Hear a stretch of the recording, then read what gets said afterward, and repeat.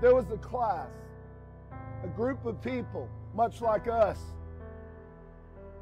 And the teacher would just walk around talking, teaching, and the class would follow. Well, the teacher realized one day, I'm not getting through to my class.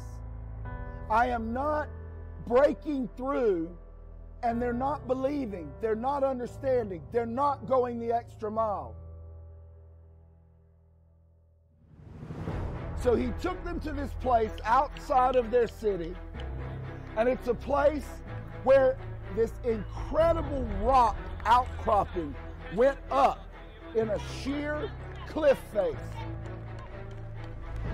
It was crumbly, it was impossible to go there, and nobody did. That place was called the Edge. And everybody was afraid of it because to go there meant you were flirting with your life. The teacher said, Come with me to the edge.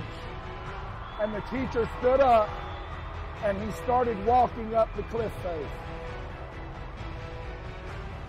Class had no choice. You follow your teacher.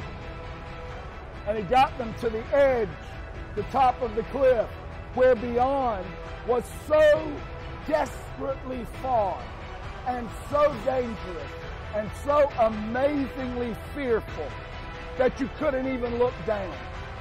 And he lined them up one by one along the edge to embrace that fear. And then he pushed them off the cliff. And every one of them flew like a bird. Come with me to the edge